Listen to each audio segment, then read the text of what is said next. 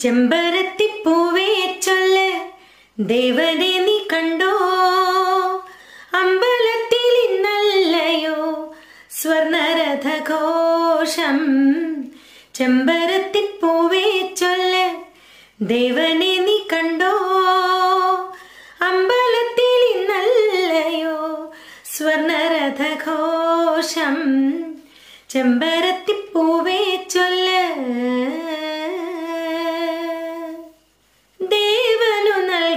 കയ്യിൽ നാണത്തിൻ നൈവേദ്യമോ? കോവിലിൽ പോയി ദൂരെ നാണിച്ചോ നിന്നവളെ? ദേവനു നൽകാൻ കയ്യിൽ നാണത്തിൻ നൈവേദ്യമോ? കോവിലിൽ പോയി ദൂരെ നാണിച്ചോ നിന്നവളെ? വന്നില്ലേ ചാരത്ത് നിന്നില്ലേ ദേവനിന്ന്? ചെമ്പരത്തിപ്പൂവേ ദേവനെ നീ കണ്ടോ? അമ്പലത്തിൽ ഇന്നല്ലയോ സ്വർണരഥഘോഷം ചെമ്പരത്തിപ്പൂവേ ചൊല്ല.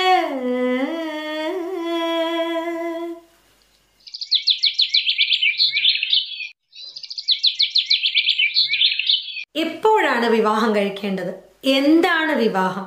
എന്തിനാണ് വിവാഹം? കുറേ പഠിച്ചിട്ടോ? നല്ലൊരു ജോലി കിട്ടിയിട്ടോ കുറേ പണമുണ്ടാക്കിയിട്ടോ ഒരു വീടുണ്ടാക്കിയിട്ടോ ഒന്നുമല്ല കല്യാണം കഴിക്കേണ്ടത്.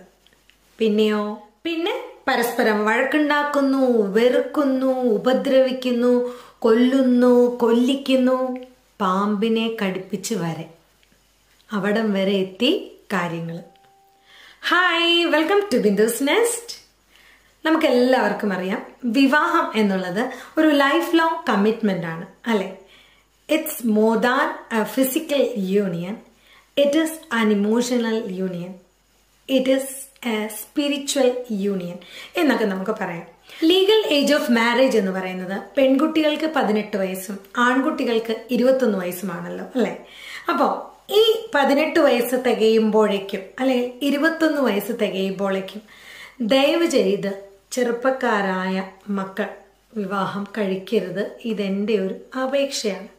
കാരണം പതിനെട്ട് പൂർത്തിയായ പെൺകുട്ടികളോടും ഇരുപത്തൊന്ന് പൂർത്തിയായ ആൺകുട്ടികളോടും നമ്മൾ വിവാഹത്തെക്കുറിച്ച് പറയുകയാണെങ്കിൽ അവരുടെ അഭിപ്രായം എന്താണ്?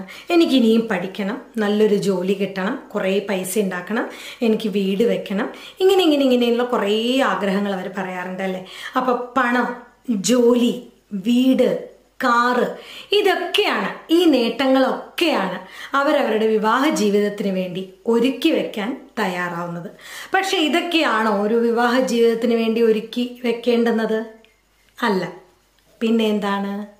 പെൺകുട്ടികൾ ഒരു പ്ലസ് ടു കഴിയുമ്പോൾ തന്നെ ഡിഗ്രിയിലേക്ക് കടക്കുമ്പോൾ തന്നെ അവരുടെ രക്ഷിതാക്കൾ ഏറ്റവും കൂടുതൽ ഫേസ് ചെയ്യുന്ന ഒരു ചോദ്യമാണ്. ആ ഇനി മോൾക്ക് കല്യാണമൊക്കെ ആലോചിച്ച് തുടങ്ങണ്ടേ?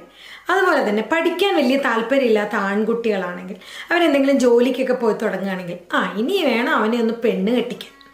അല്ലേ? നമ്മൾ സ്ഥിരമായി നമ്മുടെ നാട്ട് നടപ്പാണിതല്ല കാരണം ഒന്ന് ഡിഗ്രിയിലേക്ക് ഒന്ന് ചുവട് വെച്ച് വരുമ്പോഴേക്കും പെൺകുട്ടികൾക്ക് കല്യാണാലോചനകൾ വരുന്നു. അതുപോലെ തന്നെ ആൺകുട്ടികൾ എന്തെങ്കിലും ഒരു ജോലി ചെയ്യാൻ തുടങ്ങുമ്പോൾ തന്നെ വിവാഹം ആലോചിച്ച് തുടങ്ങുന്നു. നാട്ടുകാർക്കും ബാക്കിയുള്ളവർക്കുമാണ് ഏറ്റവും കൂടുതൽ ബുദ്ധിമുട്ട് ഇവരെ ഒന്ന് വിവാഹം കഴിപ്പിച്ച് അയക്കാൻ വേണ്ടിയിട്ട്.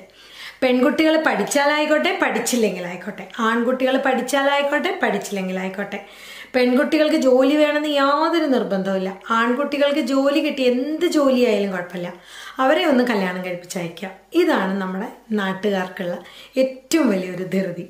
ഇനി വേറൊരു രസം എന്താണെന്ന് വെച്ചാൽ ഞാൻ ചില സന്ദർഭങ്ങൾ പറയുകയാണ് കേട്ടോ. അതായത് ഏറ്റവും രസകരമായ മറ്റു ചില കാര്യങ്ങൾ എന്താണെന്ന് വെച്ചാൽ ചില ശീലങ്ങളുള്ള ആൺകുട്ടികളുണ്ട്. സിഗരറ്റ് വലിക്കുന്ന ശീലം കുടിക്കുന്ന ശീലം അല്ലെ? അതുപോലെ ജോലിക്ക് പോയിട്ട് വൈകി വരുന്ന ഒരു ശീലം. ഇങ്ങനെയൊക്കെയുള്ള ശീലമുള്ള ആൺകുട്ടികളോട് എന്താ പറയുക അവനെ പിടിച്ചൊന്ന് കല്യാണം കഴിപ്പിച്ചാൽ എല്ലാം ശരിയാവുന്നു. ഇത് നമ്മൾ സ്ഥിരമായി കേൾക്കുന്ന കാര്യങ്ങളാണ്. സിഗരറ്റ് വലിക്കാൻ തുടങ്ങിയാൽ വിവാഹം കഴിപ്പിക്കണോ? കുടിച്ചു തുടങ്ങിയാൽ വിവാഹം കഴിപ്പിക്കണം. ഇനി ജോലിക്ക് പോയിട്ട് വൈകിയാണ് എന്നും വരുന്നതെങ്കിൽ അതും വിവാഹത്തിലേക്കാണോ എത്തിക്കേണ്ടത്? അതിനുള്ള പരിഹാരമാണോ വിവാഹം? അവിടെയൊക്കെയാണ് നമുക്ക് തെറ്റുകൾ പറ്റുന്നത്. ആൺകുട്ടികളായാലും ശരി പെൺകുട്ടികളായാലും ശരി. പതിനെട്ട് വയസ്സല്ല ഇരുപത്തൊന്ന് വയസ്സല്ല ജോലി കിട്ടുമ്പോഴല്ല പണം ഉണ്ടാക്കിയിട്ടല്ല വീട് വെക്കുമ്പോഴല്ല പിന്നെ എപ്പോഴാണ് വിവാഹപ്രായം? എപ്പോഴാണ് വിവാഹം കഴിക്കേണ്ടത്? ഒരു വിവാഹ ജീവിതത്തിന് ഞാൻ തയ്യാറായി എന്ന് മനസ്സുകൊണ്ട് സ്വയം ഒരു തീരുമാനം എടുക്കുമ്പോൾ മാത്രമേ ഒരു വിവാഹ ജീവിതത്തിലേക്ക് കടക്കാൻ പാടുള്ളൂ. അതാണ് വേണ്ടത്. അല്ലാതെ നമ്മൾ കുറേ പഠിച്ചത് കൊണ്ടോ ഒരു വലിയ ജോലി കിട്ടിയത് കൊണ്ടോ കുറേ പണം ഉണ്ടാക്കിയത് കൊണ്ടോ വീടുണ്ടാക്കിയത് കൊണ്ടോ ഒന്നുമല്ല നമ്മൾ വിവാഹം എന്ന ആ ഒരു ജീവിതത്തിലേക്ക് കടക്കേണ്ടുന്നത്. അല്ലെങ്കിൽ വിവാഹ ജീവിതത്തിലേക്ക് കടക്കാൻ ഒരുക്കി കൂട്ടേണ്ടത് ഇതൊന്നുമല്ല. പകരം ശാരീരികമായും മാനസികമായുമുള്ള ഒരു പക്വത. എന്താണ് വിവാഹം എന്ന് മനസ്സിലാക്കുക. മനസ്സുകൊണ്ടും ശരീരം കൊണ്ടും പ്രായം കൊണ്ടും ഒരു പക്വത വന്നതിന് ശേഷം മാത്രം വിവാഹ ജീവിതത്തെക്കുറിച്ച് ചിന്തിക്കുക തീരുമാനമെടുക്കുക. ആരുടെ ഇഷ്ടത്തിന് വഴങ്ങിയും വിവാഹം കഴിക്കാൻ തുനിയരുത്. ആരുടെ നിർബന്ധത്തിന് വഴങ്ങരുത്. സ്വയം ആണ് നമ്മൾ തീരുമാനം എടുക്കേണ്ടത് കാരണം നമ്മുടേതാണ് ജീവിതം. വിവാഹ ജീവിതം എന്ന് പറയുന്നത് വളരെ വാല്യൂ നൽകേണ്ടുന്ന ഒരു കാര്യമാണ് എന്നുള്ളത് മനസ്സിലാക്കുക. നമ്മുടെ ജീവിതത്തെ ഒരു ഉറച്ച തീരുമാനമാണ് വിവാഹ ജീവിതത്തെ കുറിച്ച് നമ്മൾ എടുക്കേണ്ടത്. അത് നമ്മൾ സ്വയമാണ് എടുക്കേണ്ടത്. ആരുടെ നിർബന്ധത്തിന് വഴങ്ങിയല്ല ആരുടെ ഇഷ്ടത്തിനും വഴങ്ങിയല്ല. ആരുടെ ഇഷ്ടത്തിനും ആരുടെ നിർബന്ധത്തിനും വഴങ്ങി ഒരിക്കലും ഒരു വിവാഹ ജീവിതത്തിലേക്ക് കടക്കരുത്.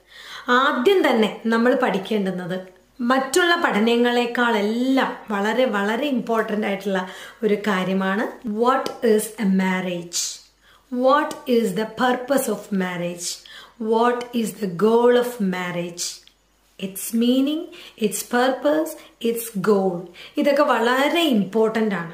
അപ്പോൾ വിവാഹ ജീവിതത്തിന് തയ്യാറാകുന്നതിന് മുൻപേ തന്നെ എന്താണ് വിവാഹം എന്നതുകൊണ്ട് അർത്ഥമാക്കുന്നതെന്നും എന്താണ് വിവാഹ ജീവിതത്തിൽ നമ്മൾ ഉൾക്കൊള്ളേണ്ടത് എന്നും മനസ്സിലാക്കുക.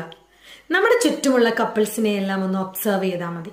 നമ്മളുടെ അച്ഛനമ്മമാർ തൊട്ട് നമ്മളുടെ ചുറ്റും കാണുന്ന നമ്മളുടെ നെയ്ബർ ആയിക്കോട്ടെ നമ്മളുടെ ഫ്രണ്ട്സ് ആയിക്കോട്ടെ നമ്മളുടെ റിലേറ്റീവ്സ് ആയിക്കോട്ടെ നമ്മൾ അറിയുന്ന കപ്പിൾസിനെയെല്ലാം ഒന്ന് ഒബ്സർവ് ചെയ്യുക. അവരുടെയൊക്കെ ലൈഫ് കണ്ടു പഠിക്കുക എങ്ങനെയാണെന്നുള്ളത്. നല്ലതും ചീത്തയും മനസ്സിലാക്കുക. നല്ലതിനെ ഉൾക്കൊള്ളുക ചീത്തയെ വിട്ടുകളയുക. എന്നിട്ട് നല്ലതിനെ നമ്മളുടെ വിവാഹ ജീവിതത്തിലേക്ക് അക്സെപ്റ്റ് ചെയ്യാൻ ശ്രമിക്കുക. അങ്ങനെയാണ് കൂടുതൽ നമ്മൾ അറിയുക. വിവാഹ ജീവിതത്തെക്കുറിച്ച് അറിയാൻ ശ്രമിക്കുന്നതും അങ്ങനെയാണ്. അപ്പം അതുകൊണ്ട് എപ്പോഴാണ് വിവാഹം കഴിക്കേണ്ടത്? നമ്മൾ മനസ്സുകൊണ്ടും പ്രായം കൊണ്ടും ശരീരം കൊണ്ടും ഒരു പക്വതയിലേക്ക് എത്തുമ്പോൾ മാത്രം സ്വന്തമായി ആരുടെയും നിർബന്ധത്തിന് വഴങ്ങാതെ ആരുടെയും ഇഷ്ടത്തിന് വഴങ്ങാതെ സ്വയം ഒരു തീരുമാനമെടുക്കുക. Marriage is not a game marriage is not a fun marriage is not a time pass see you on next video till then take care and bye bye stay safe